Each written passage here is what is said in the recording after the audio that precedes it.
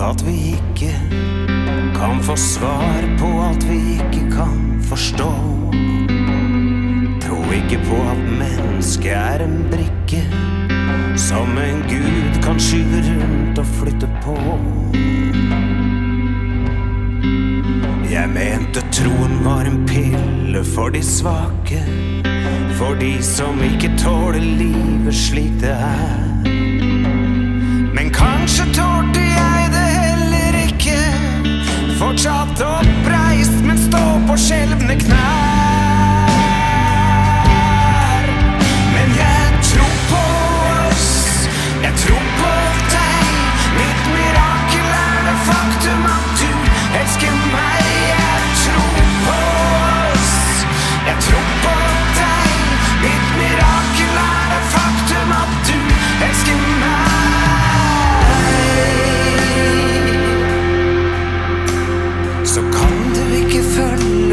doctor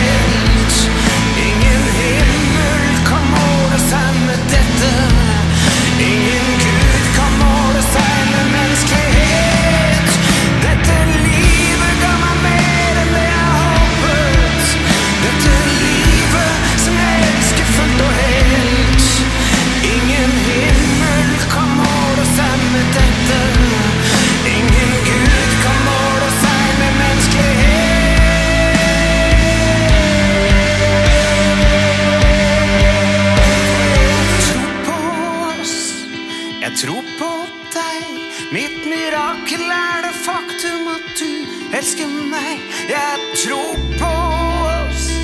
Jeg tror på